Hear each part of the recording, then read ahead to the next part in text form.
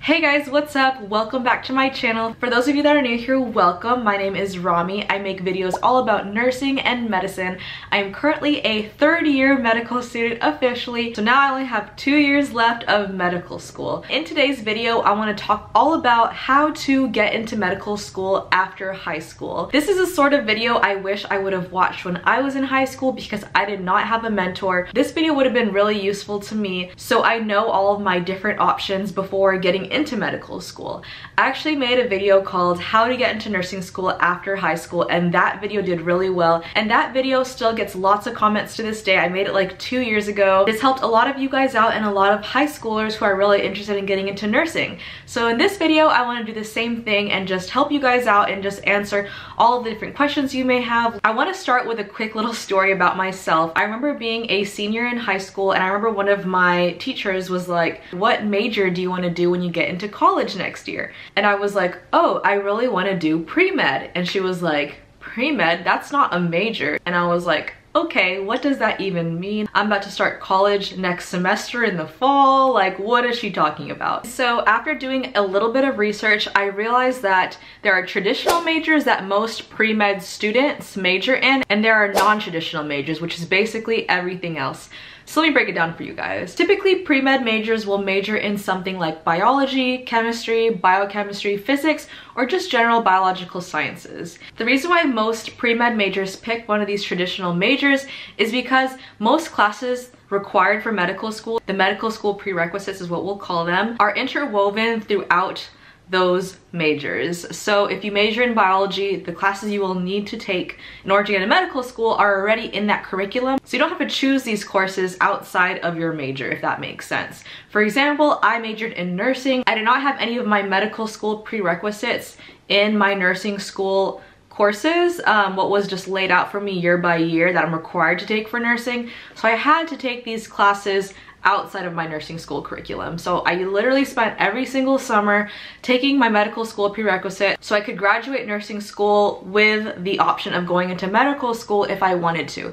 And that is what all the non-traditional majors will have to do. Non-traditional majors are literally every major you can think of that's not in the traditional list that we just talked about. That could be anywhere from music, business, English, art. You can literally pick any major that you're interested in as long as you take these medical school prerequisites in order to get into medical school. So the requirements for medical school is any bachelor's degree, taking the MCAT, and then the medical school prerequisites, which I will write down below, but I'm pretty sure it's biology 1 and 2, chemistry 1 and 2, organic chemistry 1 and 2, and physics 1 and 2. There's also one semester of biochem, and pretty much all those classes will require a lab besides biochem. But I'll write down below just to make sure. So if you happen to have already graduated college, you can always do these medical school prerequisites afterwards if you're currently working. You can do it anytime at any university. You can even go to a community college. You can literally pick any major you want if you don't want to be a traditional major. All you have to do is just take these medical prerequisites and do really well on them and get the best grades you can because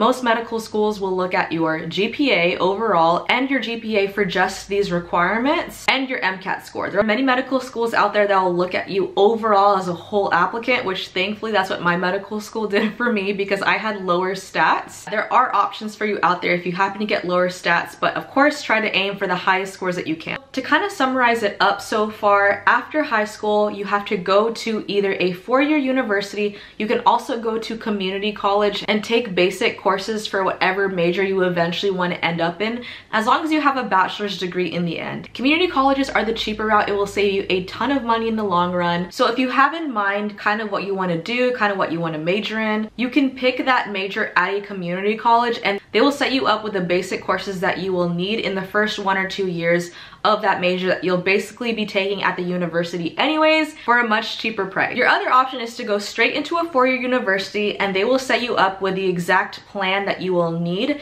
If you do happen to go non-traditional, they will not set you up with a medical school prerequisites unless you ask. So you have to tell them that you want to do English, for example, with an emphasis in taking my medical school prereqs. I guess you can also say with an emphasis in medicine, but sometimes they're confused. Let me be honest. I had so many comments of people saying my advisor has no idea what I'm talking about. I'm a non-traditional major or I'm a nursing major and they're telling me that I can't just take biology 1 and 2 along with my nursing courses even though I have room on my credits. You kind of just gotta tell them that's what you want to do and that's what I did. My advisor was very confused as well when I was in nursing school and she was like what are you trying to do here?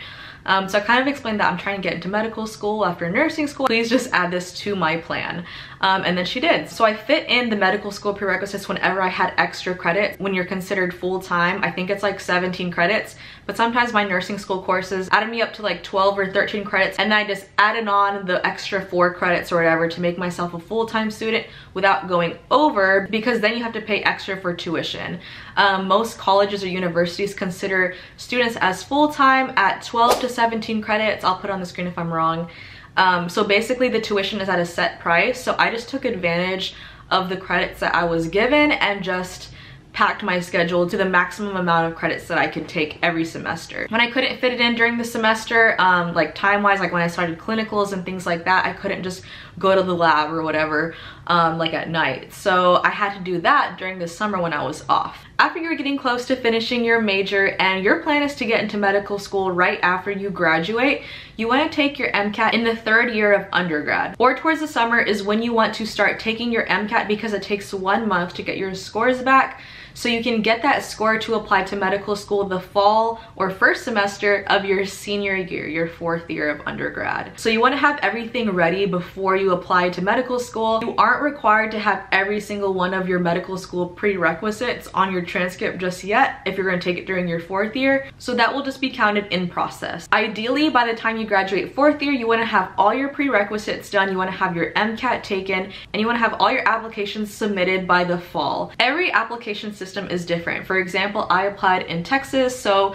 it was October 31st, I believe was like the deadline, but it's always different every year. Sometimes it's like November 1st. I know if you apply through the AMC, that deadline is also probably different. So you just wanna keep an eye out on deadlines of when you need to be submitting your applications for medical schools to review during your fourth year. Ideally, you wanna submit your application as early as possible. I think they open early summer and the deadline is actually October 31st. So you wanna submit your application as early as possible possible, especially if you have lower stats. You want all the medical schools to be able to check out your application because sometimes they're interviewing in between this time and if you apply too late, all the seats will be filled. So the earlier, the better. You want to be interviewing around this time from the summer to the fall and then usually get your acceptance sometime early January, February of your fourth year, like that last semester you are graduating.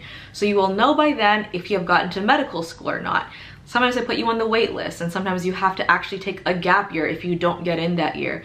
That's okay, just keep pushing. It took me four years to finally get accepted into medical school, but I made many mistakes along the way. Number one, there were two years I only applied to one medical school, which is crazy. I didn't have a mentor out there, guys. So I'm literally doing this out on my own, thinking I'm going to get into this medical school who is associated with my undergraduate university. So everyone gets an interview that's interested in this medical school, which is crazy but I interviewed with them twice. I thought I did so good on the interview. I thought I didn't have to apply to any other medical schools because it's expensive. And here I am with another rejection. The very first time, my fourth year, I applied to all of the medical schools here in Texas and I applied to two out of state. I finally got in. That is one of my next tips to apply broadly the very first time. Don't just be applying to a few medical schools here and there that you're really interested in. Honestly, medical school is just part of the journey of your ultimate goal to become a doctor. To me, it doesn't truly matter what medical school you get in. Yes, you want the best curriculum. Yes, you want the best faculty out there that's gonna help you. But overall, you are gonna be doing your own studying off third-party resources just like every other medical student and basically teaching yourself for the most part all these concepts because there's just so much to know in medical school and no faculty member could teach you every single detail you need to know in order to pass boards. Especially if you have lower stats like I did, apply as broadly as you can, apply to out of state if you can as well and if you can afford to live there. So if you happen to be one of those people who need to take a gap year, um, whether for personal reasons or your stats were a little bit lower or you applied and you just couldn't get into medical school, there are many different reasons why people take gap years. It looks really good on your application if you improve yourself as much as you can can during that gap year. For example, you can do a research year, so just doing as much research as you can, or doing a master's program during that time. You could do a master's in public health, which is a two-year program,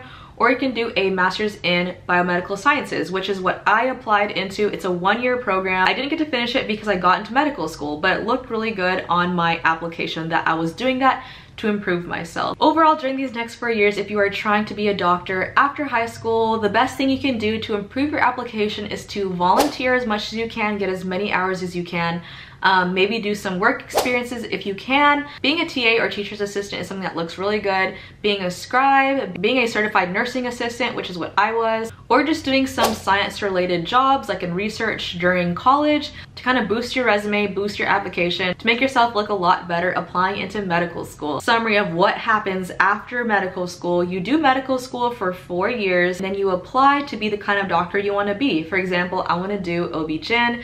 So I will be doing a four-year residency after medical school. And by then, you're already called a doctor. You just get really, really low pay to train yourself to be the doctor that you want to be. And after that, you're considered an attending. If you watch Grey's Anatomy, you'll know exactly what I'm talking about. if you want to do something like surgery, that's a five to seven year residency depending on what kind of surgeon you want to do, if you want to specialize, things like that. Family medicine is three years after medical school. So there's so many specialties you can get into as a medical student and the process is the same. You're trying to volunteer as much as you can, do as much research as you can during medical school, which is what I'm trying to do right now, all of those things to boost my resume, to apply to all the OB-GYN residencies and hopefully one will accept me and I get matched in two years. So yeah, that is all. Please subscribe to my channel if you haven't already to follow me along on my journey. Please give this a thumbs up if this helped you and please leave me a comment if you have any questions at all. And yeah, best of luck to you. Keep trying hard, keep working hard, and you will eventually reach your goals. I will see you guys in the next video. Bye!